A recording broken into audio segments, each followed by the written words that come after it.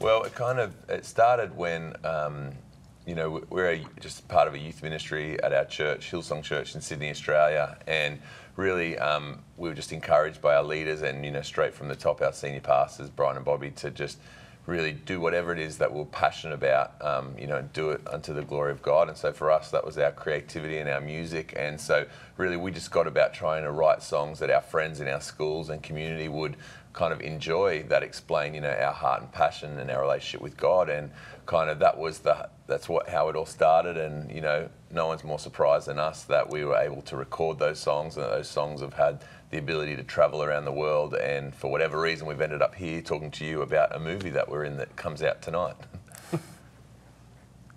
uh, Very Yes. much so. Yes. Yeah, no one was more that's surprised than us. understatement. We thought it was actually a joke at, at first, and, Yeah. um, and I seriously thought when we met the director and the DP and, and the producers that once they met us, they'll be like, "Oh no, we're not going to make a film about these guys." But as it turns out, they they committed, and then here we are today. Uh, There was many. yeah. It was a delightful experience. But um, but yeah, we it, I, I guess just having the cameras follow, and it took us a few days to kind of acclimatise to having cameras and microphones and and everything, and then trying to be yourself. Um, uh, but once we kind of once we kind of got kind of over that, uh, it, it was easier.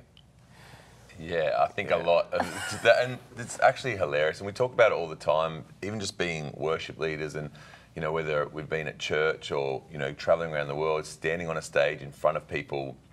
But really for us, our job is to get everyone's attention so we can put their attention onto God. And so Yeah.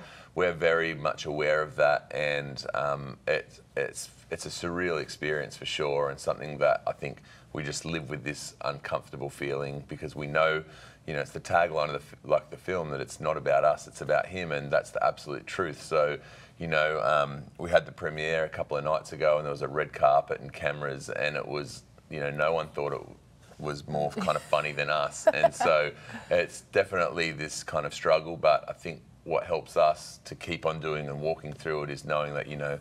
We kind of have a responsibility to try and get people's attention, but we know with that attention that we want to point them towards Jesus. I don't. Yeah. I don't know if we'd say we're Christian celebrities. How good is the term Christian celebrity, by the way? It's great. Hopefully, we're still the same people, regardless of a film or not. Well, I think that people would know that Tay is just a country girl. Yeah. That's kind of the. That's true. Um, I love these guys. Uh, we just hope that people are walking away with their heads lifted a little bit higher than when they first walked in, and we would just hope that um, they would be inspired with whatever's in their hands to do, and that they would be encouraged. And um, yeah, hopefully, maybe if they've never even um, I don't know encountered Jesus, maybe they would see it through this film, and especially they would see that um, if God could do something in our very ordinary, normal lives, then He can definitely do something in their life extraordinary.